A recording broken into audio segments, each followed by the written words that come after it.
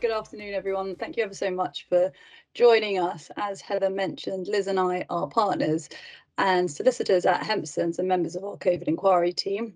The aim of today's webinar is to touch base following publication of the draft terms of reference. So I will give a quick recap of where we are in the inquiry process and then spend a short um, time reviewing um, the terms of reference and what we can glean from them at this stage. I will then hand over to Liz, who will discuss the consultation on the draft terms and how to prepare for the inquiry at this stage. We will then hear from Manchester University NHS Foundation Trust. So without further ado, how did we get to where we are? May last year, nearly a year ago, the PM announces to the Commons an independent statutory inquiry into the pandemic to start in spring 2022, about a year later. Then, about seven months later, towards the end of last year, the chair of the inquiry was announced, the Right Honourable Baroness Heather Hallett. And for those of you who have not yet found the inquiry website, you'll see a short video on there of the chair introducing herself. And then about three months later, just under two weeks ago, the draft terms of reference were given to the chair by the government. Um, note that this inquiry is UK wide, but it said it will not duplicate any inquiry on a devolved basis. Um, notably, Scotland, I think, is the only um, devolved administration where they've announced their own inquiry. So the draft terms of reference, these set the scope of the inquiry and were created following consultation with the chair and the ministers in the devolved administration. Um, before delving into the draft terms, um, if you go on the Gov UK website, we're told that the terms, and therefore the inquiry, are intended to cover preparedness, the public health response, the response to the health and social care sectors, and the economic response. So that's the intention of the terms and therefore the inquiry, but what are in fact the draft terms of reference? Um, for those of you who have not got around to reading them yet, they're contained in two pages of fairly dense text. You can find them very easily if you Google um, draft terms of reference COVID inquiry. There are two subheadings, essentially two chapters, um, one looking backwards and one looking forwards. Um, so the first is to examine the response and the impact of the pandemic and to produce a factual narrative account. So a sort of retrospective fact-finding stage. And then the second aim is to learn lessons, look forward from that huge document, no doubt, that will be produced um, as to the inquiry from stage one and to see what can be learned for the future, for future preparations. So there are three sort of jumping back into the first stage, um, and that's really where your response and the preparation of your response comes in now, um, and also your thoughts about what the terms of reference are. Um, the first stage, it being a retrospective fact-finding look at what happened, um, the response and impact of the pandemic, and and production of a factual narrative account. There are three subheadings to that first stage, the fact-finding stage, the central, devolved and local public health decision-making and consequences, such as shielding prisons. Number two, which is our focus, health and care sectors. And the three, the economic response, which will be things like support for businesses and jobs, the furlough scheme, I should imagine, etc. So again, drilling down, so we've got the first stage, which is fact-finding retrospective looking at what went on, there are seven key lines of inquiry. Um, the key to note is that really no stone is left unturned. Um, also that when you read the terms of reference above these seven key lines of inquiry, um, it says to include these seven points. So it's not exclusively, there could be more things added and that obviously is no doubt part of the um, consultation process.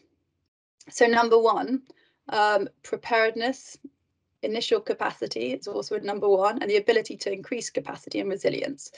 Um, nightingales aren't specifically identified within the key lines of inquiry, but we assume they'll probably fall within this first one. Um, perhaps also the use of the independent sector, uh, perhaps the use of surgical hubs and hot and cold sites, all that sort of within the preparedness and capacity section, perhaps. Number two, here we have hospitals um, the management of the pandemic in hospitals. So sort of secondary care teased out as to one key line of inquiry. Um, within that, if you read the terms of reference in detail, it says including infection prevention and control, triage, critical care capacity, the discharge of patients, the use of DNA CPR decisions, the approach to palliative care, workforce testing, changes to inspection, and the impact on staff and staffing levels. So that's quite a long list. Um, the mention of triage in there is not clear. It's just a word, triage. Um, we assumed it's aimed at how and where patients were triaged, the impact of infection control, perhaps. Um, within there is possibly also hospital-acquired infections. Um, perhaps consideration should also be given to anything relating to the adequacy of triage for differentiating between COVID and other conditions, especially in those early days when we were all learning what actually COVID symptoms were and how to test for them. Um, there is a mention of changes to inspection, as I said, and that's really obviously aimed at uh, regulators. Um, interesting, again, in this number two, the hospital section, when they talk staff, they say the impact of staff on staff is distinguished from staffing levels. So you've got the impact on staff and staffing levels um, separately. So we anticipate there will be a focus on staff well-being, support and initiatives that were set up to support staff. Also, of course, emotional and physical consequences of working within the healthcare sector in the pandemic, long-term absences, staff fatalities. So that's all. It's pretty um, it's pretty lengthy, as you can imagine, and very broad-reaching. Um, then some of the information, of course, within there, before you will start to slightly panic, will be statistical and can be provided by NHS England that we imagine, such as inpatient numbers, capacity, bed occupancy, staffing, and Trust will, of course, have ready access to this as you were reporting it regularly on, on um, into NHS England. Um, then number three, so separately, we've got the sort of preparedness capacity point, then we've got hospitals and now three care settings um, the management of the pandemic in care homes and other care settings, including infection prevention and control, the transfer of residents to or from homes, treatment and care of residents, restriction on visiting, and changes to inspections. Um, so this will perhaps also encompass decisions made early on to discharge patients into care homes and the consequences, perhaps. Um, number four, procurement and distribution of equip, key equipment and supplies, including PPE and ventilators, um, possibly to include distribution and use of PPE within hospitals. I know at some stages there's been talk about um, uh, I mean, I think we've all seen the saw the images of people making their own bin bag um, sort of mm, equipment, and so perhaps that will be included in that section rather than the hospital section, or maybe there'll be overlap as to how they actually write it at the end. Um, then there's also the, the, delivery and development of therapeutics and vaccines. Perhaps there'll be some GP primary care and CCG input into that level, um, because as you'll see, there's not actually a specifically primary care focus um, in those seven key lines of inquiry. Um, and then number six, the consequences on the provision on the of the pandemic on the provision for non-COVID related conditions and needs which will no doubt include the impact and cancellation of elective lists, the impact and delayed diagnoses and treatment of, for example, cancer, which um, we as litigators are already seeing some claims like that filtering through, the impact on waiting lists, increased use of telemedicine, perhaps the increase in mental health need, especially for children and young people, so that we sort of anticipate those sort of things will be coming up in there. And then number seven, the provision for those with long COVID. So it's pretty lengthy, as you can see, very broad reaching. Um, and requires a sort of read and a think. Um, so there are, where we are, seven. Um, so there was going to be an enormous amount of information collated by the chair in her in her team in stage one, which they then want to focus on in stage two. So that's learning lessons from the evidence they've gathered in stage one. And that's basically a one liner in the terms of reference. So you've got a huge amount key lines acquired in stage one and then learning lessons that's it in stage two. Um, so to meet the aims, the draft terms of reference say the inquiry will listen to bereaved families and others, but will not investigate individual cases of harm or death um, in detail. Note in detail. Listening to these accounts, however, will inform its understanding of the impact of the pandemic and the response and of the lessons to be learned. So there will be, um, and they do say it in the in the um, in the inquiry website that they intend to go around the country and, and, and take evidence. Um, highlight where lessons identified from preparedness and the response to the pandemic may be applicable to other civil emergencies. Um, so that's sort of going broader even still. Consider the experiences and impact on healthcare and sector workers and other key workers during the pandemic. Um, also, consider any disparities evident in the impact of the pandemic and the state's response. including those related to protected characteristics. So that's sort of very much teased out. And then also have a reasonable regard to relevant international comparisons. And crucially, as you know, some of these reports can go on for um, inquiries can go on for years and years and years. It's clear that Baroness Hallett does not want this to be one of those cases. So she's um, specifically noted that she wants to produce the report and any interim reports and recommendations in a timely manner. And again, if you go back to the, the COVID website and see her um, introduction, she makes that perfectly clear when she's introducing herself um, to the public. So that was an absolute whistle stop tour. I appreciate that it's difficult to take a huge amount from that, but the point is it's very broad. Um, and I will now pass over with no further ado to Liz. Thanks, Elizabeth. Um, I'm just going to take control of the uh, slides. Um, lovely to see so many of you um, back for, for this update seminar. Um, and for those of you who know me and those who've been in um, previous seminars, you'll be surprised to hear that I'm not going to talk uh, for too long uh, today. Uh, and partly I'm not going to talk uh, for too long because we have a couple of colleagues with us from um, from one of the trusts that we're working with um, up here in the, the north of England.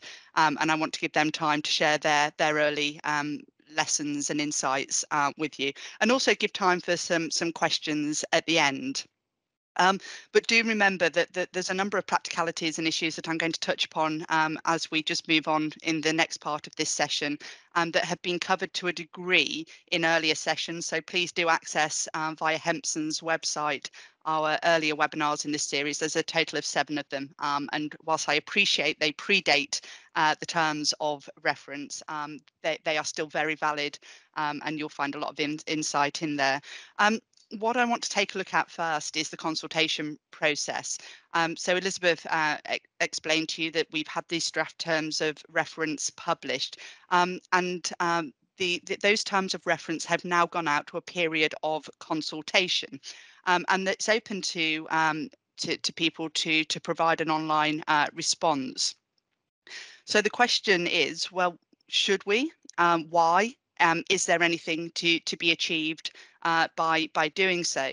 Um, and the question very succinctly in terms of why can be answered by uh, what the inquiry team themselves has said to, to ensure that everybody can have their say on how the inquiry should go um, about its work. Um, and it's really with an aim of shaping those fin final terms of reference. Um, and importantly also though, to, to influence the order in which evidence may be heard and how the inquiry may interact and engage uh, with uh, with the public. Um, Elizabeth mentioned that uh, Baroness Hallett has already said that she will take the uh, inquiry um, on the road. Um, and if any of you are familiar with the ongoing infected blood inquiry, that's a, an approach that's been taken um, within that. They, they've had the centralised hearings taking place in London, um, but they've also undertaken regional hearings um, in various locations around the UK. And of course, it's open to any of you uh, to provide a response, to do so as individuals um, or to do so on behalf of the organisation um, for whom you, you work. But of course, bearing in mind that if you're speaking on behalf of the, the, the organisation, then you should have that authority to do so. And it's actually really easy to partake in, in the consultation process, and it won't take you particularly long um, to do so because, as we're going to look at, the questions are, are rather narrow. Um, but there is an online survey um, if you follow the uh, link um, to the public inquiry website um, linked at the top of this slide. Um, and I think it was in the information that we sent out prior to, to today. Um, there's an online um, survey which is open until uh, 2359 on the 7th of April 2022. So put a note in your diary if you're keen to provide some input into, into that consultation. Um, and of course, as I said, it, it, it does ask you whether, um, a, a, as a proprietary question, whether you're providing um, what wishing to provide your personal uh, information and background. You don't need to do so. Um, you can you can anonymously respond to the consultation. And in fact, when I was given it a test run, I think I may have submitted a, a, a blank response with no details and no answers to any of the questions. Um, but in terms of what are those what are the questions that, that, that the consultation asks you, well, the first substantive question um, is whether um, the inquiry's uh, draft terms of reference cover all the things that you think it should be covered. And if no, what other things should be covered? Um, any of you who've got experience of public inquiries will know that uh, that terms of reference get wider following a consultation period. and they don't get narrower. And, and, and, actually that question in itself is asking you if anything has been missed, not uh, whether you think there's anything in there that shouldn't be in there. And in terms of whether you think there are other areas, that's a free text uh, box uh, for you to be able to, to complete. Um, the second substantive question is what you think the inquiry um, should look at uh, first. And, and you'll recall that uh, Elizabeth explained um, that there were um, different areas uh, that the inquiry was going to look at. There was firstly the issues of um, central and devolved and local public health decisions. Then there were the, the health and care sectors, followed by the economic uh, response. And I think logically, um, that is an order that is likely to, to be followed, but it does give you that opportunity to, to, to respond should you wish to do so. And the reason why I, th I think it's logical is that there has to be that layer of uh, governmental uh, decision making and direction and legislation which needs to be examined before we go on to consider the steps that were subsequently taken under those directions uh, from government. But of course, it does give you that opportunity to respond. And certainly in conversations that I've been having with people, um, that there is a suggestion that, that there is a benefit in the health and social care uh, sector providing a response that the logical uh, the logical uh, approach would be to take those issues first, not least because it will allow an additional period of recovery time for the NHS and care sector, um, whilst uh, those earlier matters um, are dealt with by the inquiry. Um, moving on, the third substantive question is whether there should be a planned end date for the public hearings to ensure uh, timely findings and recommendations. And as Elizabeth has said, um, Baroness Hallett is, is very keen that this is not um, a protracted uh, public inquiry. That said, when you look at the terms of reference and you look at the key lines of inquiry, it's difficult to, to see how it's going to be a, a, a speedy um, approach to um, a final uh, report. Um, and if you if you think that uh, the average time for a public inquiry is just short of, of five years, um, so I, I, when we say it's not going to be a protracted affair, let's take that against the backdrop of how long we know public inquiries do generally take particularly where there is a significant uh, amount of information to be looked at. And then the fourth um, substantive question is how the inquiry should be run. So um, how we're going to collate those views from people. Are we going to go out um, on the road, um, etc. So, so in terms of, of moving on from that, and uh, again, I'm, I'm, going to do a whistle top now, um, and um, I, I, covered all of these in, in one of our earlier practical planning sessions for COVID inquiries. Um, but things that you need to be ticking off your list if you haven't already done so um, is whether you have your inquiry lead um, appointed within your organisation and the team set up around them. Um, and I can't stress enough that now that we have the terms of reference, these the, these steps really must be taken. Um, the need for the stop notice. Um, I know that a lot of trusts have sent stop notice to a stop notice to all of their staff now to pre um, prevent the destruction of evidence. If you haven't done so, um, then can I uh, recommend that you you liaise with your colleagues at NHS England, um, who will be happy to share um, their stop notice uh, with you. Um, and of course, you know your local uh, your local uh, neighbouring trust may also have one. Um, are there processes? Um, have your processes been checked? Um, your processes for, for ensuring your contact details are correct for leavers and key personnel. Um, a preparatory step to all of that is you are going to have to know who your your, your key people are um, first, uh, your key you, your key decision makers during the course of the the inquiry, um, whether that be at a strategic level or at a, a site level. Are they all still with you? If not, can you make sure they're up to date? Um, based on uh, on significant experience of inquiries, um, we can spend an awful lot of time um, when we are in the the thrust of preparing for an inquiry in doing the administrative tasks. And if you can tick those off at the outset, um, it, it, frees up time to do to do the important uh, evidential analysis in due course. And of course, you should have started. And if you haven't done so, now you've got the terms of reference, then please do so.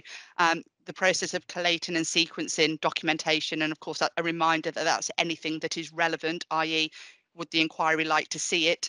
Um, and it might be things that in due course you are asked to provide disclosure of to the inquiry um, or that you may need to refer to when referencing statements or preparing reports um, in due course and don't underestimate the need to keep your staff fully informed so that they they are on board and they are engaged and feel supported uh, through the process. Um, in terms of some practicalities, just building on what I have just said, um, then in terms of your inquiry team, um, it's a question of ensuring that you have allocated sufficient time and resource, um, particularly in these times when there are competing challenges going on within each of your, your organisations. Um, and consider coordination um, and cooperation with partner organisations, um, whether be, that be in primary care or, or neighbouring uh, trust if you're you're an NHS uh, trust. Um, take some time to evaluate those terms of reference and the impact upon your organisation. Um, there may be things that are jumping out from those terms of reference that you think we had a particular problem. Um, and in the event that we're asked to provide relevant evidence, that might be an area where we provide uh, some evidence to the inquiry uh, in due course. And again, it's about when you have identified those problems within your own, own organisation, making sure you drill down and know specifically who the people are that you may in due course need to talk to if you need to produce evidence or you need to cross-reference the accuracy of any data that you're going to provide uh, to the inquiry. Um, and uh, assess what evidence your organisation will have against each of those uh, terms of reference. Um, have some uh, some strategic plans in place and some practical planning in place about how you're going to identify what's relevant documentation and then what are you going to do and how are you going to collate catalogue and uh, and sequence it? Um, and I've talked at length at that in in, in previous uh, seminars as well and then how you're going to store it to ensure that it's safe um, from the the dreaded upgrade grades and data migration that we regularly see um, across the the NHS and then consider the role that you may have in due course. Um, how pivotal um, against those terms of reference do you think that your role um, is going to be as an organisation? Um, and do you think you have some meaningful uh, evidence um, and views that can be shared with the inquiry um, to help them with that fact finding process and but also significantly for us as an NHS who who are are, are very keen uh, to to learn from uh, every opportunity that, that, that presents itself to us to ensure that we have that those learning um, opportunities. Um, and just in terms of the time frame, um, 7th of April, remember um, your date deadline for the consultation process um, on the terms of reference based on experience, and, and I stress that based on experience alone, um, you're not going to have a final um, set of terms of reference, I don't think, until May um, at the earliest, and not least because we have um, Easter um, shortly after the closure of the consultation period. Um, we'll get a, a, publication of the terms of reference. Um, there will then be certain core participants. They're, they're the key players um, who and, and people who with a key interest um, in the inquiry, um, they'll be identified and there'll also be a process though, um, which will enable other organisations and individuals to apply for core participant status to fully engage in the process of disclosure um, and, and the evidence of the, the inquiry. There'll be a timetable set and it will be interesting to see what that timetable actually says in terms of the order which things are, are taken in but also the deadlines and any long stops um, excuse me, that we think um, that the inquiry team um, may um, put on on the evidence. Um, and importantly, there will be a publication of guidance. There will be processes and procedures that will be um, published for the way in which evidence will be collated by the inquiry um, and how you are to submit that and who it who who really uh, the inquiry team are looking to submit that data and in what form. It's already been said by the, the inquiry team and Baroness Hallett that there'll be no public hearings before 2023 and it's likely to fall within three chapters in in, in the three chapters identified um, earlier by Elizabeth in terms of those central devolved public health, then the health and social care sectors, and I would imagine the economic response. But within each of those chapters, of course, um, there are seven key lines of inquiry um, for the health and social care sector, which will be broken down into to subcategories. Um, and who knows um, when the report will be published, but let's hope that that it's right, that, that actually we are going to get a timely conclusion to the inquiry.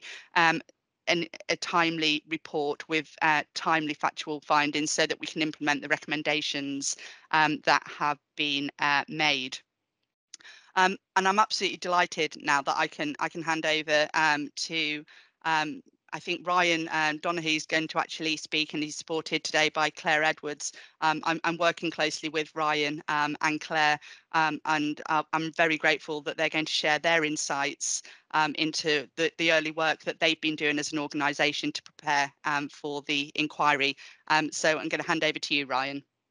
Yeah, thanks. Thanks very much, Liz. And uh, I'll kick us off, and I, I think I'm sure Claire will come in on the uh, some of the details. So I think most of, of what we're going to cover was picked up, Liz, in, in your slides on preparing for the inquiry you've just covered. Um, certainly the um, the one on, on immediate steps looks um, looks very familiar to us from the last couple of months. And I just wanted to say a few words about what we've been doing at um, at MFT whilst we were we were waiting for the, the draft terms of reference to come out. That that that period that seemed to take an eternity. Of, you know, the anticipation of of seeing something on on on paper. Um, uh, and what we've been doing has been about trying to do as much as, as we can to put ourselves in the best possible position to meet our ob obligations to respond to the inquiry, if and when um, the time comes um, for the organisation. Um, and that has meant taking some very practical and often basic um, steps and, and, and, tasks, which, as I say, um, you've already picked up in the in the earlier slides. Uh, the first thing on a, on a team is to say that myself and Claire were appointed around around the, the turn of the year to, to coordinate the response to the inquiry from um, uh, for MFT and from across the organisation. So we're a dedicated resource um, for as long as it's needed. Um, I would say there are probably two main reasons why the trust wanted to, um, to put this in place early on. The first is simply the size and scale of of um, MFT as a provider trust, and and along with that, its profile both in the uh, Greater Manchester conurbation and and uh, the northwest um, region. And then related to that is that the trust played a key role in the collective response arrangements that were put in place across Greater Manchester during the pandem pandemic. And I'm talking here particularly about the fact that MFT hosts the Provider Federation Board, which um, I guess in the current terminology is the provider collaborative in the in the emerging GM integrated care system, the ICS. Um, so PFB has coordinated the, the, collective provider response to the pandemic in, in GM, for example, in, in key areas such as mutual aid on critical care capacity, um, which you've you've already um, alluded to, is is um, one of the key lines of inquiry um, uh, indicated in the, the, draft terms of reference. Um, and and therefore PFB has been a, a, key or an important component component of how how GM has dealt with the COVID over the last two years.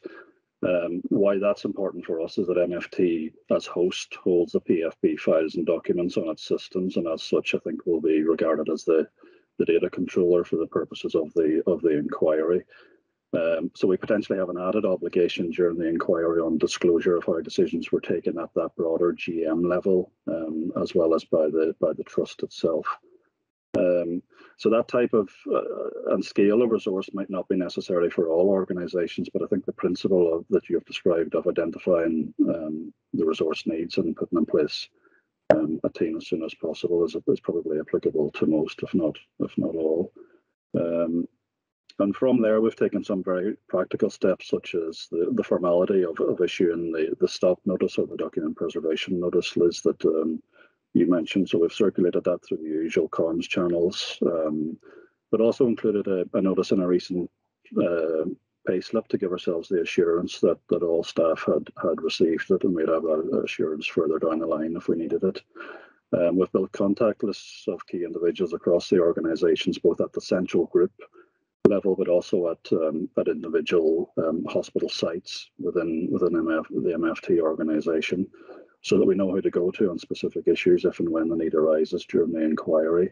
And then we put in place governance arrangements to oversee the response and, and as importantly, draw in expertise from across MFT, um, and which can then report into the trust board um, if it's if it's needed as the inquiry um, progresses, depending on how it goes.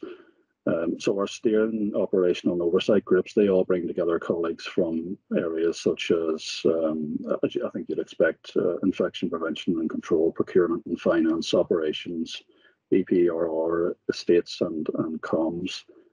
Um, and then I think finally for me, build, building on those on those very practical steps, our, our main task now is to is to bring the documents um, related related to our, our response to to to COVID together into a dedicated storage space. Um, and, and now that we have the draft draft terms of reference organised by the likely themes or, or key lines of in, inquiry we're expecting as as they're set out in the terms of reference. Um, know Claire's working very hard on this, so you might want to come in here, Claire, on, on how that's going uh, and what the um, what the significant issues and tasks are arising from it. Yeah, that's absolutely fine, Ryan. Um, so we have set up a SharePoint site um, that's allowed us to copy across all of our EPRR information um, to one centralised um, storage point that both myself, Ryan and Liz are able to access. We may widen that in due course dependent on the requirements that we've got. Um, and the task in front of us at the moment that we're currently working through is understanding all of the evidence that's there from an EPRR point of view and understanding how we can best use that from a key lines of inquiry perspective. Um, I think it's fair to say we were fortunate in the way that our EPRR team um, set up their initial storage of documentation. They've done an excellent job um, in collating it so far. Um, and they deserve credit for that because that I think will um, pay dividends further down the line for us. But at this point in time, it's about understanding all of the evidence that's there, um, doing some really basic admin roles within it, such as unembedding documents, um, which may seem seem like nothing, but I've spent probably the past week unembedding a number of papers from agendas that we need to be able to have as individual documents. So that's just um, a key word of warning, really, that there'll probably be um, a myriad of um, information that you need to try and get hold of, and then unembed and store as separate documents.